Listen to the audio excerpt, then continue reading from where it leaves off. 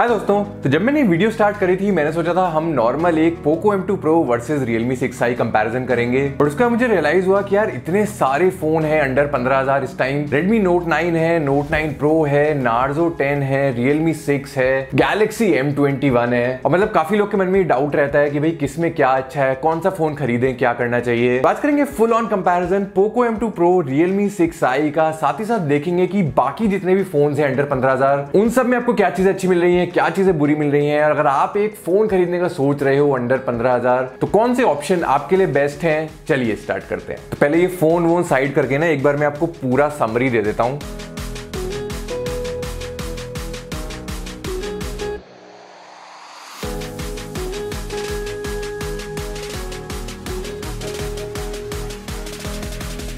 तो अंडर दस हज़ार वाले फोन्स की बात मैं अलग से करूँगा। यहाँ पे हम देख रहे हैं दस से पंद्रह हज़ार वाले फोन्स और मेरे हिसाब से ये बेस्ट ऑप्शन इस टाइम आपके पास है। तो यहाँ सबसे क्लियर बात पहले जो है कि भाई Redmi Note 9 Pro खरीदने का कोई सेंस नहीं है।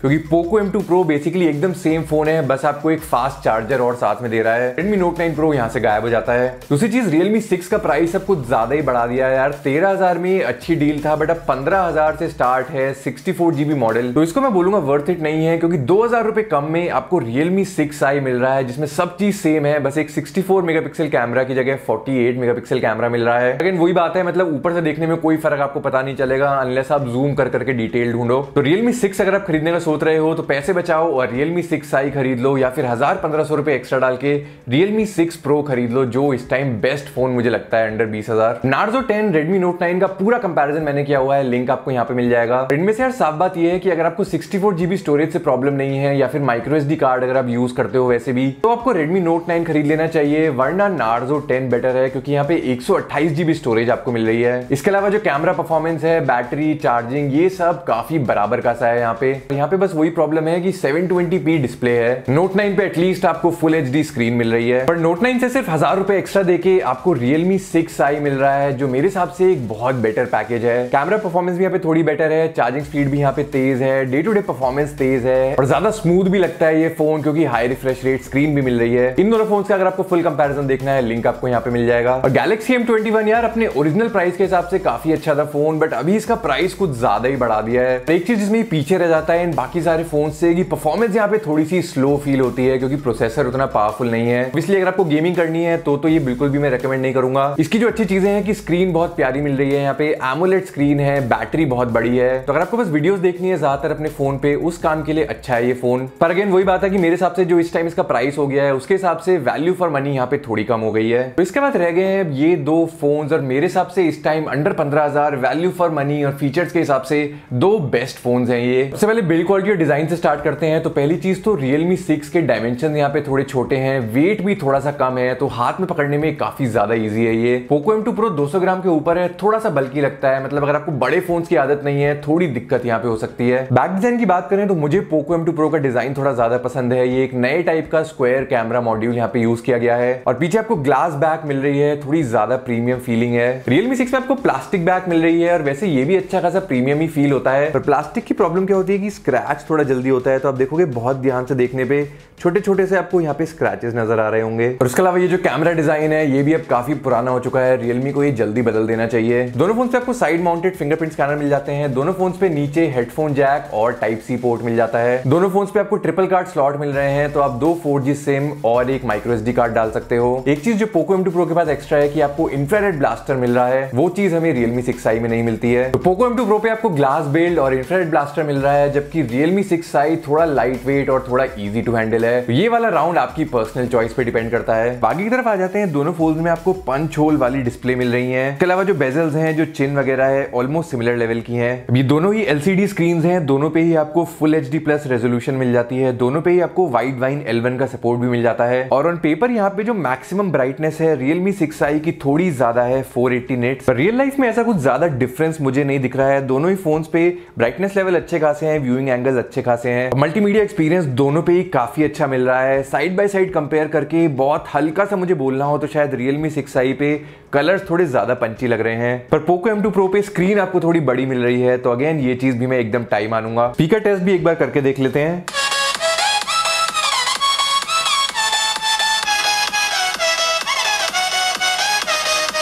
तो अगेन यहाँ पे काफ़ी सिमिलर सी परफॉर्मेंस है, जो लाउडनेस है, जो म्यूज़िक क्वालिटी है, दोनों ही काफ़ी सेम मुझे लगी दोनों स्पीकर्स पे। परफॉर्मेंस पे आ जाते हैं तो दोनों फ़ोन के बेस मॉडल में हमें चार जीबी रैम मिल रही है सिक्सटी फोर जीबी स्टोरेज मिल रही है। रियलमी सिक्स आई में बस आपको एक सिक्स सिक्सटी फोर वाला मॉडल और मिलेगा, जबकि पोको एम टू प्रो में आपको सिक्स वन ट्वेंटी एट वाला मॉडल भी मिल जाएगा। पर यहाँ पे रियलमी सिक्स आई के पास जो एडवांटेज है कि यहाँ पे हमें नाइनटी हर्ट फ्रेश रेट की स्क्रीन मिल रही है। तो उसकी वजह से जो आपका डे टू डे यूजेज होता है, जब आप इंस्टाग्राम कर रहे हो, जब आप नॉर्मल स्क्रोलिंग कर रहे हो, या कुछ भी ऐप ओपनिंग क्लोजिंग आपकी हो रही है ये सब चीज़ थोड़ी एक्स्ट्रा स्मूथ फील होती है। ये चीज़ Poco M two pro obviously miss करता है तो यहाँ पे सारी एनिमेशन ऐसा लगती हैं, थोड़ा ज़्यादा टाइम लगा रही हैं और ऑब्वियसली स्क्रोलिंग वगैरह में वो मज़ा नहीं आता है। इसके अलावा प्रोसेसर की बात करें तो रियलमी सिक्स आई पे हमें मिलता है ninety T Poco M two pro पे है ट्वेंटी जी की काफ़ी नया प्रोसेसर है power efficient eight nanometer process पे बना है। जी नाइनटी टी को थोड़ा टाइम हो गया है ट्वेल्व नैनोमीटर प्रोसेस पे ये बेस्ड है। पर जी नाइनटी टी को फ़ायदा हो जाता है कि यहाँ पे जीपीयू हमें फ्लैगशिप लेवल का मिल रहा है माली जी सेवेंटी सिक्स आप देखोगे यहाँ पे गीक बेंच स्कोर्स में थोड़ा सा आगे है स्नैपड्रैगन 720G एक बार स्पीड टेस्ट भी करके देख लेते हैं। तो रीसेंट एप्स मैंने सारी हटा दी हैं।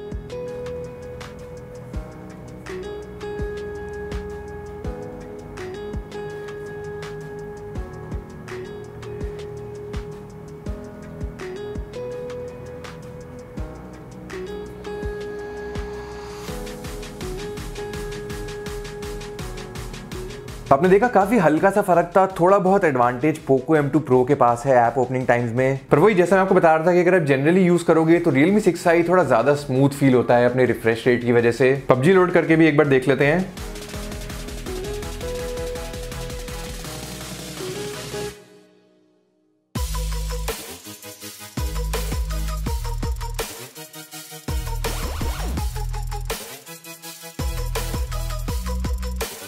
यहाँ पे Realme 6i में थोड़ा सा पहले लोड हो गया। अब ग्राफिक सेटिंग्स की अगर बात करूँ तो यहाँ पे एकदम सेम है मामला। एच डी हाई पे आप मैक्सिमम चला सकते हो और स्मूथ पे शिफ्ट करके भी आपको अल्ट्रा तक का ऑप्शन मिलता है। और इन दोनों फोन्स पे, दोनों प्रोसेसर्स पे हम काफ़ी सारी गेमिंग कर चुके हैं तो दोनों ही फोन्स पे आप आराम से फोर्टी एफ़ गेमिंग तो कर ही सकते हो। अगर आप बहुत ज़्यादा सीरियस हो गेमिंग के लिए, आप कॉम्पिटिशन वगैरह में पार्ट लेते हो तो मैं रिकमेंड करूँगा पोको एम प्रो आपके लिए बेटर चॉइस है। क्योंकि स्नैपड्रैगन प्रोसेसर्स को हम काफ़ी बार देख चुके हैं, उनकी कंसिस्टेंट परफॉर्मेंस थोड़ी बेटर होती है। उस चीज़ में हीलियो जी नाइनटी थोड़ा सफ़र करता है। रियलमी सिक्स आई में थोड़ी हीटिंग होने लगती है और अगर आप डेढ़ घंटा, दो घंटा लगातार गेम खेलोगे तो हो सकता है थोड़ी बहुत थ्रॉटलिंग आपको देखने को मिल जाए। और एक जो सबसे बड़ा बेनिफिट होता था जी नाइनटी का कि यहाँ पे आपको स्मूथ एक्सट्रीम का डिफ़ॉल्ट ऑप्शन मिल जाता था। वो भी अब डिसेबल कर दिया गया है तो मेरे हिसाब से ऐसा कुछ बेनिफिट अब इसके पास नहीं है। और डेफिनेटली सेवन ट्वेंटी जी एक बेटर ऑप्शन बन जाता है। सॉफ्टवेयर एक्सपीरियंस पे आ जाते हैं। दोनों फ़ोन पे एंड्रॉइड टेन है, दोनों फ़ोन पे एंड्रॉइड इलेवन जल्दी आ जाना चाहिए। और सॉफ्टवेयर देखो अपनी अपनी चॉइस होती है। मी से मेरी बस एक प्रॉब्लम है कि भाई यहाँ पे ये जो नोटिफिकेशंस का भंडार ये लगाता है मतलब कभी भी आप सुबह उठ के फ़ोन देखो रैंडम से रैंडम नोटिफिकेशंस आई होती हैं। कोई आंटी अपना डांस दिखा रही होती है, कोई दीदी आपको मिस कर रही होती है। मतलब रियलमी यूआई पे भी ऐसी नोटिफिकेशन आती हैं बट यहाँ पे आप देखो एटलीस्ट थोड़ा क्लीन लग रहा है मामला। ब्राउज़र ने यहाँ पे भेजी हुई है रैंडम नोटिफिकेशन बट वो सब ग्रुप होके एक लाइन में आ जाती है। ऐसे ही ऐप मार्केट की जो नोटिफिकेशन है, वो भी सारी एक साथ एक ग्रुप में पड़ी हुई है। ऑब्वियसली ब्लोटवेयर फालतू की एप्स आपको काफ़ी ज़्यादा दोनों में इंस्टॉल मिलती हैं। पर उसमें ऐसी कुछ दिक्कत नहीं है, अपने यूज़ के हिसाब से आप अनइंस्टॉल कर सकते हो चीज़ें। और काफ़ी सारे प्राइवेसी के इश्यूज़ जो हम सुन रहे थे क्लीनर एप्स में और जो प्री इंस्टॉल्ड एप्स हैं पोको और रियलमी दोनों बोल चुके हैं कि ये जो भी एप्स हैं हेलो वगैरह, ये अब से उनके फ़ोन में आपको नहीं दिखेंगी। और अगर अभी होंगी भी तो एक सॉफ्टवेयर अपडेट के साथ ये सारी चीज़ें क्लीन हो जाएँगी। अब इसके अलावा दोनों फ़ोन पे जो फिंगरप्रिंट है, काफ़ी तेज काम करता है और मुझे तो काफ़ी अच्छी लगती है पोजिशन फेस अनलॉक भी एक बार टेस्ट कर लेते हैं। तो अगेन ये भी काफ़ी सही काम कर रहा है। रियलमी सिक्स आई पे थोड़ा ज़्यादा तेज़ मुझे बस लग रहा है। इसके अलावा जो कॉल क्वालिटी है, जो वाईफाई परफॉर्मेंस है, उसमें मुझे दोनों फ़ोन से दिक्कत नहीं हुई। और सार वैल्यू की बात करें तो पोको एम टू प्रो की थोड़ी सी कम है हेड वाली वैल्यू की बॉडी वाली वैल्यू रियलमी सिक्स आई की थोड़ी बेटर है। नेक्स्ट ही रहते हैं बैटरी लाइफ पे तो पोको एम टू प्रो के पास काफ़ी एडवांटेज है, बड़ी बैटरी यहाँ पे है। यहाँ पे आराम से आप सात घंटे के ऊपर का स्क्रीन ऑन टाइम निकाल सकते हो, जबकि रियलमी सिक्स आई पे आप साढ़े पाँच से छह घंटे का स्क्रीन ऑन टाइम निकाल पाओगे, जो कि उतना बुरा नहीं है, एक दिन आपका तब भी कट जाएगा। पर पोको एम टू प्रो में आप थोड़ा ज़्यादा निश्चिंत रह सकते हो। तो रियलमी सिक्स आई पे थर्टी वॉट चार्जिंग का सपोर्ट हमें मिलता है, पर बॉक्स में सिर्फ़ 20 वॉट चार्जर है, जबकि पोको एम प्रो में हमें 33 वॉट की फास्ट चार्जिंग मिलती है। पर 20 वॉट चार्जिंग के साथ भी काफ़ी तेज चार्ज हो जाता है रियलमी सिक्स और अगर आप अलग से 30 वॉट चार्जर ले लोगे या 30 वॉट वाला पावर बैंक ले लोगे तो सिर्फ़ एक घंटे में ये फुल चार्ज हो जाएगा। इन दोनों का पूरा battery drain test charging test मैंने किया हुआ है। लिंक आपको यहाँ पे मिल जाएगा। फाइनल चीज़ आती है कैमरा तो यहाँ पे एकदम सेम कैमरा सेटअप है। दोनों पे क्वाड कैमराज हैं। सेम 48 मेगापिक्सल प्राइमरी है। अल्ट्रा वाइड भी सेम है। एक मैक्रो है डेप्थ है। इनफैक्ट जो सेल्फी कैमरा है, वो भी एकदम सेम है ऑन पेपर 16 मेगापिक्सल का।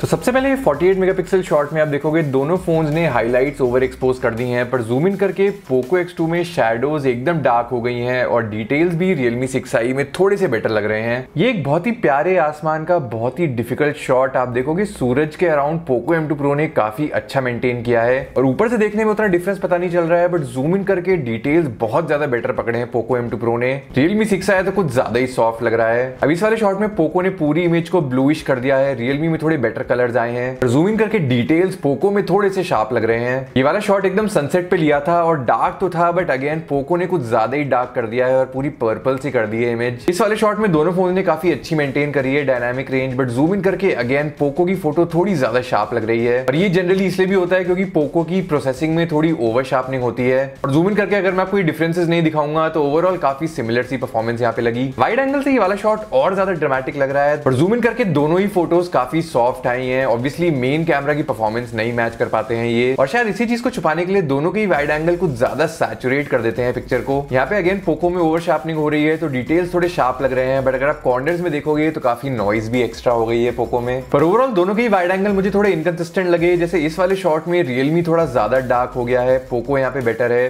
जबकि इस शॉट में पोको ने अपने आप को एकदम डार्क कर लिया है और रियलमी थोड़ा बेटर कर रहा है। और ओवरऑल वाइड एंगल परफॉर्मेंस में एकदम सेम लेवल की बोलूँगा। मैक्रोज में पोको के पास फ़ायदा है, एक तो हायर रेजोल्यूशन सेंसर है और दूसरी चीज़ आप टैप टू फोकस कर पाते हो। रियलमी में तो मैं एक भी बार फोकस में फ़ोटो ले ही नहीं पाया। मैक्रोज में क्लियरली पोको बेटर है। अब उसी सनसेट का फिर से बेनिफिट उठाया मैंने इस सेल्फी के साथ। देखो कि रियलमी में थोड़ा वाइड है फ्रेम बट पोको में थोड़ी ज़्यादा शार्प लग रही है पिक्चर इस वाले शॉट में पोको ने मेरे फेस को कुछ ज़्यादा ही रेड कर दिया है। रियलमी थोड़ा बेटर है। और उसके अलावा जो एज कटआउट वगैरह है, वो ऑलमोस्ट सिमिलर ही है दोनों पे। रियलमी में सारी स्मूदिंग ऑफ़ करने के बाद भी कुछ डिफ़ॉल्ट से थोड़ी बहुत स्मूदिंग वो कर देता है। थोड़ी सॉफ्ट सी लगने लगती है, शक्ल पोको में थोड़ी शार्प लगती है। लो लाइट सेल्फीज के लिए दोनों ही फ़ोन अच्छे नहीं है। पोको तो एकदम गिवअप कर देता है। रियलमी में एटलीस्ट आपको नाइट मोड मिल जाता है। पर उससे भी काफ़ी ज़्यादा नॉइजी सी पिक्चर आती है। दोनों फ़ोन में आप सेल्फी फ्लैश यूज़ कर सकते हो और यहाँ पे परफॉर्मेंस काफ़ी सिमिलर सा है। अब ये 48 मेगापिक्सल सैमसंग सेंसर जो है लो लाइट में काफ़ी सफ़र करता है ये। नाइट मोड ऑन करके भी पोको पे ज़्यादा फ़र्क नहीं पड़ा। रियलमी में एटलीस्ट थोड़ी लाइट आपको मिल जाती है। और वाइड एंगल तो दोनों के बिल्कुल ही बेकार है लो लाइट के लिए। बट अगेन रियलमी के पास बेनिफिट है कि यहाँ पे आपको एटलीस्ट नाइट मोड ऑप्शन मिलता है। सेम फ़ोटो फ्लैश चला के लिए पोको ने वाइट बैलेंस एकदम हिला दिया है। रियलमी में थोड़ी नेचुरल दिखने वाली फ़ोटो आई है। मेन कैमरा से भी सेम चीज़ है। कलर्स रियलमी ने थोड़े बेटर पकड़े हैं। बट अगर आप जूम इन करके देखोगे तो पोको की फ़ोटो में ज़्यादा डिटेल्स आ रहे हैं। और ओवरऑल लो लाइट में यही ट्रेंड मैंने ऑब्ज़र्व किया रियलमी की फ़ोटो थोड़ी ज़्यादा ब्राइट लगती है ऊपर से देखने में बट जो एक्चुअल डिटेल होता है जूम इन करके, वो पोको में बेटर होता है।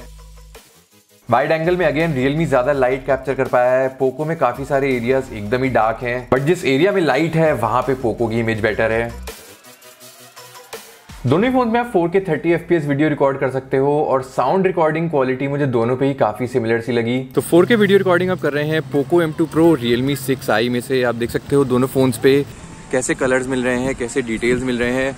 साउंड क्वालिटी किस टाइप की मिल जाती है? मेरे पीछे इस टाइम काफ़ी सारी पानी की आवाज़ भी आ रही है तो नॉइस कैंसिलेशन कैसी हो रही है ये भी हमें थोड़ा पता चल जाएगा। 4K पे दोनों पे आपको स्टेबिलाईजेशन नहीं मिल रही है बट वीडियो क्वालिटी पोको थोड़ी बेटर हैंडल करता हुआ लग रहा है। रियलमी पे थोड़े झटके से दिख रहे हैं एक्सपोजर चेंज के। इसके अलावा दोनों फ़ोन पे आप वाइड एंगल से टेन वीडियो रिकॉर्ड कर सकते हो। रियलमी में फ्रेम थोड़ा ज़्यादा वाइड लगता है बट उसकी वजह से डिस्टॉर्शन भी होता है। जबकि पोको में थोड़ा छोटा होता है फ्रेम बट थोड़ी स्टेबिलाईज आपको वीडियो मिलती है। इसके अलावा रियलमी में आपको सुपर स्टेबल मोड मिल जाता है। पोको में नॉर्मल स्टेबिलाईजेशन आपको मिलती है। और अगेन यहाँ पे पोको थोड़ा बेटर काम करता हुआ लग रहा है मुझे। सेल्फी कैमरा से वीडियो रिकॉर्डिंग कर रहे हैं Poco M2 Pro Realme 6i में से। आप देख सकते हो कैसे कलर्स यहाँ पे मिल रहे हैं डायनामिक रेंज कैसी मिल रही है डिटेल्स कैसे मिल रहे हैं। और साउंड रिकॉर्डिंग मेरी आपको किस टाइप की मिल रही है? रियलमी सिक्स आई की सेल्फी वीडियो में कुछ अलग ही शार्पनेस बढ़ जाती है यार फेस की। और आप देखोगे पीछे एक्सपोजर भी ये बेटर हैंडल कर रहा है। पोको में एकदम ओवर एक्सपोज चल रहा है आसमान। और फाइनल चीज़ रियलमी में आप 240 फोर्टी की स्लोमो रिकॉर्ड कर सकते हो, जबकि पोको में आपको 960 सिक्सटी का भी ऑप्शन मिल जाता है एक सेकेंड की।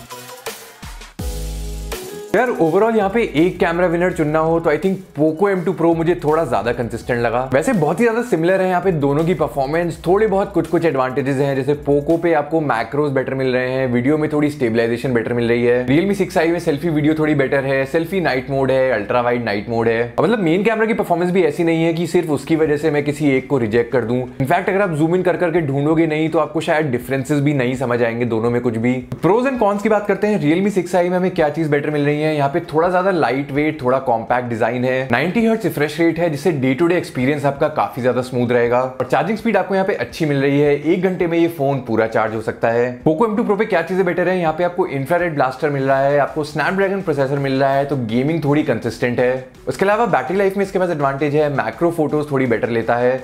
और वीडियो रिकॉर्डिंग में थोड़ी बेटर मुझे स्टेबिलाईजेशन लगी। तो रियलमी सिक्स आई का प्राइस स्टार्ट है तेरह हज़ार रुपए से पोको एम टू प्रो आएगा चौदह हज़ार रुपए का। और यार, यहाँ पे इतनी सारी चीज़ें सिमिलर हैं कि मैं आपको एक क्लियर विनर एक क्लियर लूजर नहीं बता सकता। दोनों ही फ़ोन बहुत ज़्यादा अच्छे हैं। रियलमी सिक्स आई के पास एडवांटेज है कि हज़ार रुपए सस्ता भी है। और मतलब इस प्राइस पॉइंट पे आपको नाइनटी हर्ट रिफ्रेश रेट की स्क्रीन मिल रही है। ये बहुत ही ज़्यादा बड़ी बात है। और ओवरऑल इस फ़ोन के यूजेज से मैं काफ़ी खुश हूँ। हर चीज़ यहाँ पे स्मूथ लगती है। कैमरा परफॉर्मेंस भी ठीक ठाक है। बैटरी अच्छी चल जाती है। चार्जिंग स्पीड तेज मिल रही है। इसकी बस वही एक दिक्कत है कि G90T है, जो हैवी गेमिंग में उतना अच्छा सस्टेन नहीं करता है। और वो एडवांटेज पोको M2 Pro को मिल जाता है। यहाँ पे आप आराम से गेमिंग कर सकते हो। और देखो फ़ोन ये भी बहुत बढ़िया है। प्रीमियम बिल्ड क्वालिटी है परफॉर्मेंस अच्छा खासा है कैमराज भी अच्छे हैं बैटरी लाइफ ज़बरदस्त है। और मैं अपनी तरफ़ से बताऊँ तो मैं गेमिंग ज़्यादा नहीं करता हूँ। और मेरे लिए ये डे टू डे एक्सपीरियंस थोड़ा ज़्यादा मैटर करता है। और उस चीज़ में एक बार अगर आप high refresh rate screen use करके देख लोगे तो फिर सिक्सटी हर्ट्स में वो मज़ा नहीं आता है। मतलब हमेशा ऐसा लगता है कि यार, काश यहाँ पे वो मक्खन फीलिंग आ रही होती। और इसीलिए यहाँ पे आपका यूज़ केस बहुत इंपॉर्टेंट है। देखो, अगर आप रेगुलर गेमिंग करते हो और आप उस हिसाब से एक फ़ोन ढूंढ रहे हो तो Poco M two pro best choice है अंडर पंद्रह हज़ार। अगर गेमिंग आपके लिए उतनी इंपॉर्टेंट नहीं है, थोड़ी बहुत कैजुअल कभी कभार करनी है, और आपको general day to day experience ज़्यादा मैटर करता है तो मैं आपको कहूँगा कि भाई Realme six i better option है। और ओवरऑल अगर आप मुझसे पूछोगे बेस्ट फ़ोन अंडर पंद्रह हज़ार कौन सा है तो एक आंसर मैं आपको शायद नहीं दे पाऊँ बट दो आंसर मैं आपको ज़रूर दे सकता हूँ। Poco M2 Pro